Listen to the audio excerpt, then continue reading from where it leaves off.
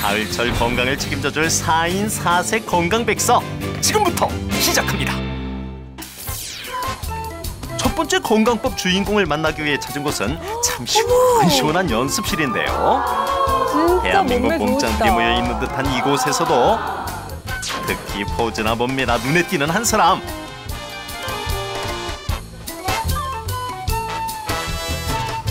지금 뭐 하시는 거예요? 이제 대회가 한 달 남았거든요. 근데 저희는 운동도 해야 되지만 모델 쪽에도 출전하기 때문에 기본적인 워킹이랑 포징을 이렇게 따로 연습을 하고 있어요.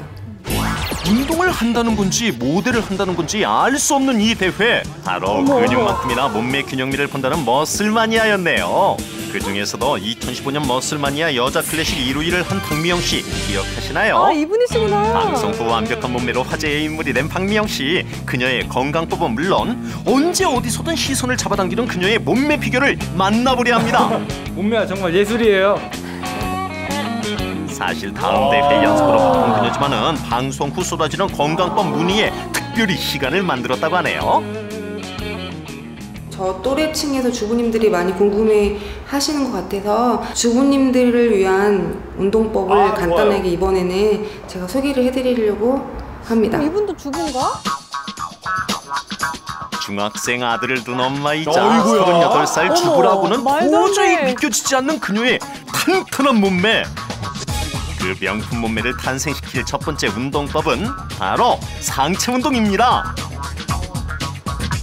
내 가슴 모양을 좀 예쁘게 만들 수 있는 간단한 가슴 운동법 두 가지를 가르쳐 드리겠습니다.